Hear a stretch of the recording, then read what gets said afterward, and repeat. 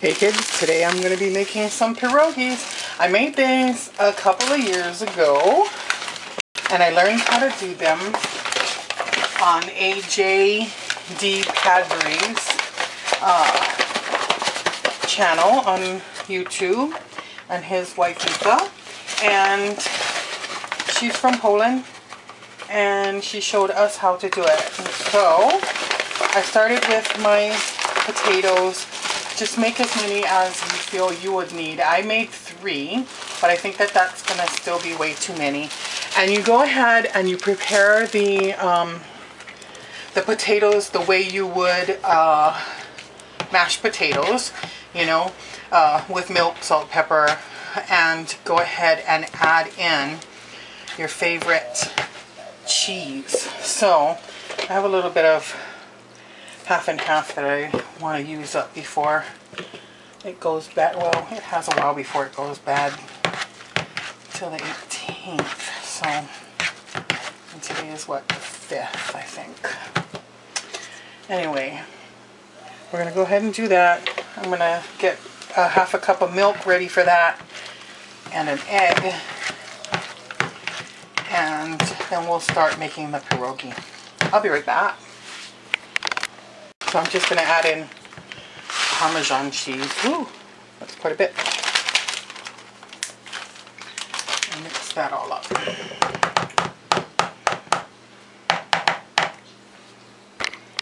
Okay, so we're going to start with two cups of flour, an egg, and half a cup of milk. And we're just going to, let me, I forgot to set up the camera. Okay. So I can turn you off without getting gunk all over it. We're just going to um, mix this all up. Very, very simple recipe.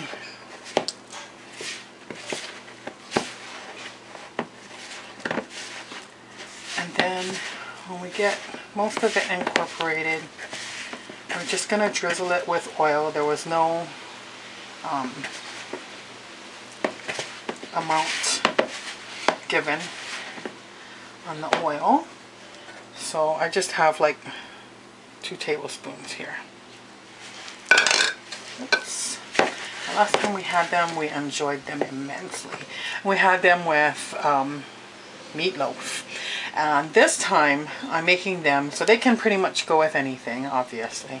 Um, but this time I'm going to be making them because they are going to be used in a dish.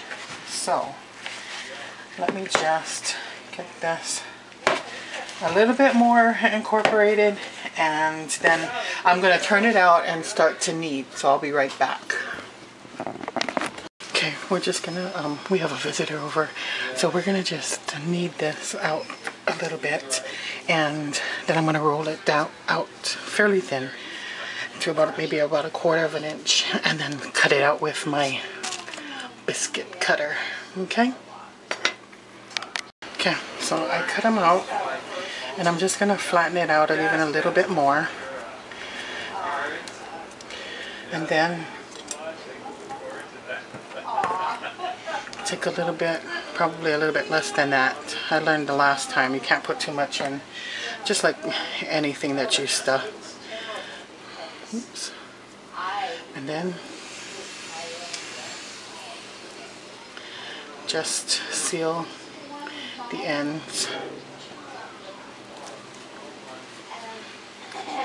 And then make a whole batch of them. And then we're going to boil them, so we'll be back. Okay, so I, I um, salted the water and we're just going to drop these in and we're going to let them cook until they raise to the top. And then they'll be done. And then I'll put them on the side for the next step of our dinner, but this would be considered the end part of this video at the very least. Okay, so they have floated to the top. We can take them out now and be considered done. And a lot of people say that they like to um, put it in some butter and um, in a pan and get them nice and brown. And um, we would probably do that if we weren't going to use this in a meal. So here you go, homemade pierogies. Enjoy.